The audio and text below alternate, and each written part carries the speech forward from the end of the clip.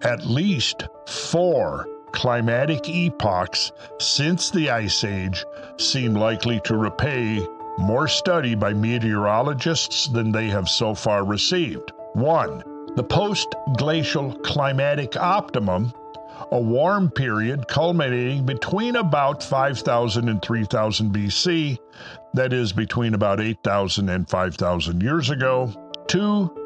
The colder climatic epoch of the early Iron Age, which culminated between about 900 and 450 BC. 3 the secondary climatic optimum in the early Middle Ages, broadly around AD 1000 to 1200 or rather longer.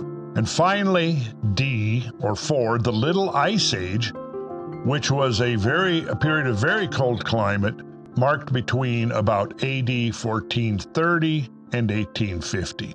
Generally, most of the information now suggests that the climate began to, to deteriorate from the medieval warm period uh, in the late 1200s and early 1300s.